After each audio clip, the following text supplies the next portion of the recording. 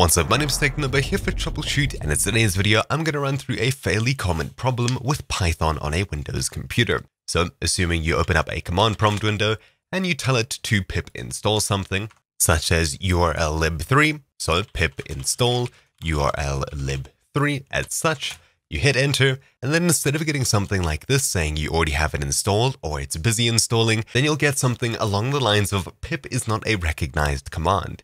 Now, of course, this isn't specific to Windows, but this video today is going to show you how to fix that on Windows. So first of all, you want to make sure that Python is properly installed and added to your path. With a command prompt window open, simply type in Python as such and see if you get dropped into the Python interpreter as such. If you do, hit Ctrl Z enter to exit out of it. But of course, if it doesn't, then try Python 3, Python 2, etc., etc.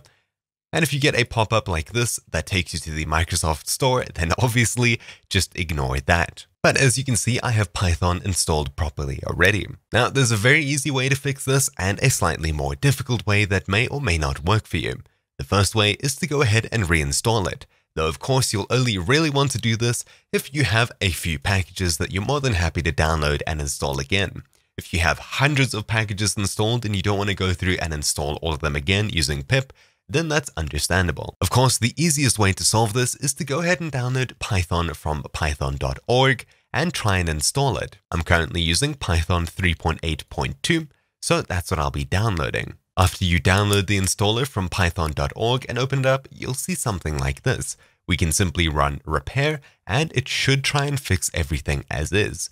Though of course, if you would like to nuke it and install just a couple of packages again when you're done, you can simply click uninstall, then open up the exact same installer and click install, then follow through the options. Though when you get presented with an option of whether you'd like to include it in path or capitals, make sure that is checked. I'll guide you through that on a sandbox. So opening up Python installer. As you can see, I can click install now, but before you do that, make sure to check add Python to path.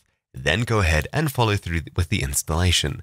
Of course, this is just a VM, so I'll go ahead and close it. Then we get to the second, slightly more involved and possibly may not work solution that might just work for you. So assuming that you type Python into the command prompt window over here and you don't see a response like this, or Python works and pip doesn't, then we can go ahead and fix this. The simplest way is to press start and type in Python. Assuming that the Python command works, it should pop up somewhere on this list. Simply right-click on Python and then click Open File Location. Then we'll be taken across to the shortcut as such or into the actual folder. If you see a bunch of shortcuts, right-click on Python and then click Open File Location once again. Now we're in the install folder, see Python 38. But of course, this is probably somewhere different for you. So next up, let's go ahead and add this to our path if it's not already there. Press start and type in path, P-A-T-H. Then click edit system environment variables and we'll get this pop-up. Click environment variables in the bottom right and we'll see this. Then locate path at the very top here under user variables, but of course, if you want to change it for all users, you can try changing it in the path down here. So I'll click on path at the top and then edit. As you can see at the very top, I already have CPython38 and CPython38 scripts. Now the scripts folder is where pip is actually installed. There it is over there, pip.exe.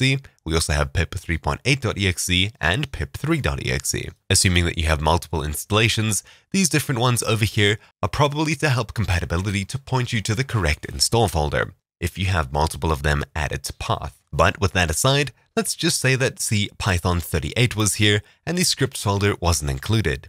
Well, heading back to the path window, simply make sure to open up these scripts as such and copy the directory or be ready to type it in. Then I'll click New and we'll paste in the address, so C Python 38 scripts. And then we'll click anywhere and that'll save. And of course, if you don't have Python added as such, we'll go ahead and add it like that. Now that we have both Python and scripts here, I'll go ahead and click OK, and then OK once again. OK closing out of this window. If we go ahead and restart a command prompt window, then type in Python, you should see that it works, and pip, you'll see that that works as well. Now, in a couple of rare cases, if this didn't work for you, then hopefully repairing will work for you. If repairing still doesn't work for you, then I'd recommend making a list of packages that you downloaded with pip because the easiest solution for you from here is to go ahead and uninstall Python, then reinstall it completely from scratch. If you'd like to move it to a different install location, then now is your chance. Anyways, that's about it for this video. Hopefully you found it somewhat useful. My name is Technobo here for TroubleChute, and I'll see you all next time. Ciao.